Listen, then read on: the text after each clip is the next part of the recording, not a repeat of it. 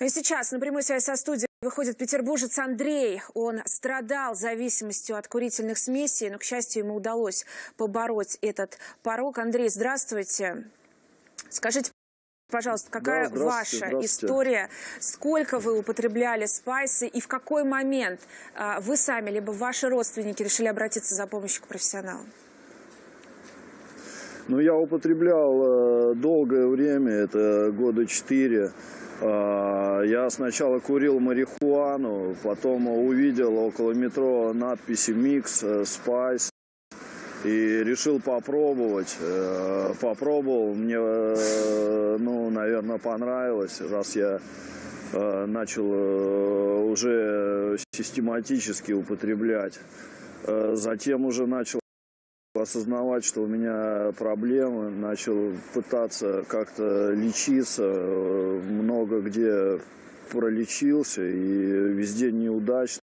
Наверное, не было какой-то мотивации, либо специалисты не смогли мне помочь.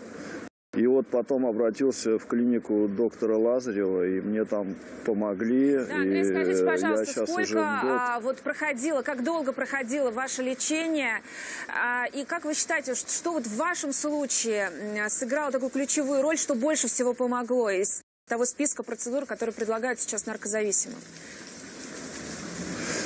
Ну, мне помогло вообще, у меня интересный случай, что я один раз покурил спайс, и мне показалось, что э, окно – это продолжение коридора. А, и я вышел в него. Хорошо, что я живу на третьем этаже, и мне повезло, я не разбился насмерть. То есть у меня были синяки, гематомы, то есть, но это произвело на меня впечатление. Я понял, что действительно уже, э, что я на волоске от смерти, что надо с этим что-то делать. И я вот обратился в клинику, мне понравилась э, потом уже атмосфера, у меня была мотивация, я как-то влился в процесс. И медикаментозно мне э, сняли вот абстиненцию, вот это влечение у меня пропало. И психологи со мной работали, то есть убедили меня, у меня появилась мотивация как-то. Сейчас вот я уже работаю два через два, и девушку нашел, и как бы воздерживаюсь от употребления. То есть не пью, не курю, а полностью воздерживаюсь от употребления. Хожу вот на психотерапию, на поддерживающую. Андрей, сколько вы уже не курите? Уже полтора года. Да, Андрей, спасибо большое. Оставайтесь, пожалуйста, с нами на связи. Вот сейчас мы а, присоединим к нашей беседе эксперта. На прямой связи со студией по скайпу выходит нарколог а, Игорь Лазарев. А, Игорь, приветствую вас. Ну вот как Андрей нам рассказал, такой э, роковой случай, можно сказать, был в его жизни, когда он э, выпал из окна, и в тот момент он понял, что уже ну, надо с этим что-то делать. Надо обращаться за помощью к специалистам. Хотя вот эксперты, как я читала, в один голос утверждают, что вот таких осознанных, да, наркозависимых, их единицы. Остальные считают, что спайс – это легкий наркотик, брошь в любой момент. Как работать с такими людьми, которые не признают вот для себя, что да, зависимости есть и нужно идти к врачам? Ну, к сожалению, говоря о спайсах, это была проблема очень огромная, вот особенно несколько лет назад, и в этот период э, мне повезло или не повезло работать в остром психиатрическом отделении, когда по нашим наблюдениям в какой-то период времени каждый второй пациент с психозом до поступления употреблял спайс. Они тогда были разрешены, легальны, позиционировались как курительные, ароматические смеси. И ну, все мы были в ужасе от того, что происходит, потому что симптомы напоминали шизофрению, иногда оставались на длительное время.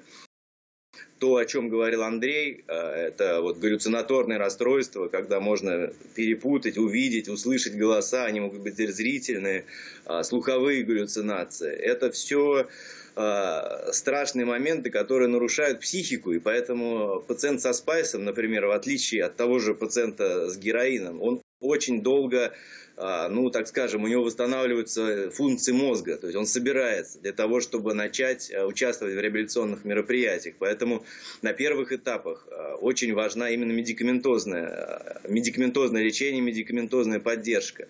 И мы по, по факту лечим их как психически больных, потому что часто, ну, в огромном проценте случаев имеется место и галлюцинация, и нарушение мышления и так далее. Но это психиатрическая такая тематика. И дальше, когда человек собирается, когда он начинает осознавать, понимать, самый важный момент – это профессиональная работа психологов, консультантов по реабилитации, которые такого пациента э, включают в группы и работают с ним индивидуально, и уже, ну, это длительный процесс. Вот э, просто таких если честно, примеров немного. Андрей там один из тех, кто длительно, прошел длительную реабилитацию, амбулаторную и стационарную, находясь там полгода в реабилитационном центре, живя там. Да, это, а, конечно, дает результат, дает о себе знать, но не все. И часто родственники, они не понимают о том, что нужна длительная реабилитация. Хотят... Да, Игорь, вот какие результаты такой реабилитации? Опять же, я читала, что ну, буквально единицы удается выздороветь а, после этой зависимости, избавиться от спайсовой зависимости. И вот даже я такую статистику а, находила, что а, процент ремиссии, как говорят специалисты, у героиновых наркоманов выше, чем у спайсовых.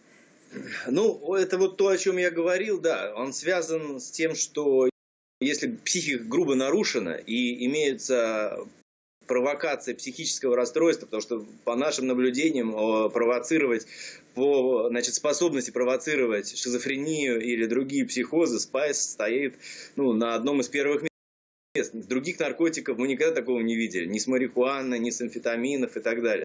Да? То есть, если у человека, конечно, спровоцировалось психическое расстройство, то возможность реабилитации, она снижается, она резко снижается, поскольку, ну, сами понимаете, да, а, ему нужна психиатрическая помощь. Если это все зависит от пациента, то есть, если у пациента относительно сохранен и интеллектуально, и и uh, у него имеется критика, то есть он понимает, то, конечно, реабилитация здесь дает эффект, потому что это в основном молодые люди, и на них работает вот эта групповая терапия, сообщество анонимных наркоманов. А, сравнивать здесь э, очень сложно, потому что каждый случай индивидуальный. Один человек перенес психоз, другой человек, э, соответственно, не перенес и сам мотивированно пришел.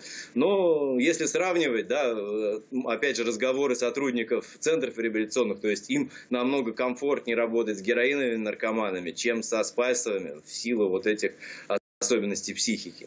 Да, Игорь, а вот скажите, пожалуйста, а, Возвращаясь, вот, да, я уже приводила такую статистику, что в основном спайсы как бы как оружие массового поражения бьют по детям, фактически по подросткам, которым 14, 16, ну максимум 18 лет. А, вот есть печальная статистика, которых не удавалось а, спасти. Вот это люди в каком возрасте в Петербурге?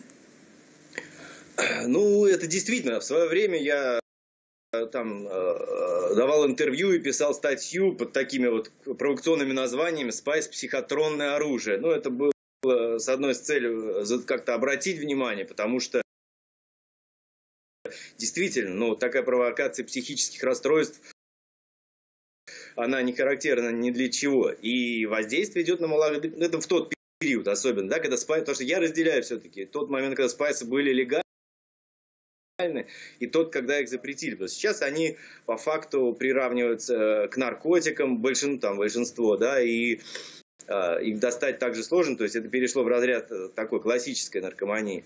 А когда они были доступны, конечно, подростки, это молодые люди, там были и 16, и 18, и, и ну, вот такого возраста до 20 лет, которые у метро приобретали по флайерам, да, курительные ароматические смеси, заканчивалось это суицидами, какими-то травмами в, а, в психозе, да, выпадениями из окна и так далее.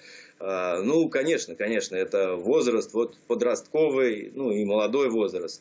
Пациентов... Да, Игорь, спасибо, спасибо большое. Сейчас хочу обратиться снова к Андрею. Я напомню, это бывший наркозависимый, которому все-таки удалось избавиться от э, спайсовой зависимости зависимости. Андрей, вот скажите, вы довольно длинный и сложный путь прошли. Что можете посоветовать тем людям, а, которые вот оказались в подобной ситуации?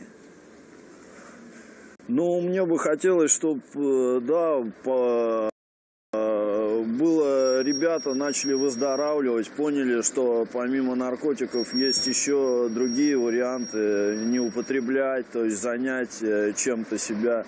Ну и, конечно, чтобы были квалифицированные специалисты, как Игорь Александрович, чтобы действительно, когда человек попадает в терапевтическую среду, чтобы ему смогли помочь, чтобы э, смогли выявить мотивацию и всячески поддерживать, как вот э, в моем случае, потому что мне это очень, ну, на самом деле нелегко далось, и было, было и влечение, и тяга была, и бывало и друзей я встречал, кто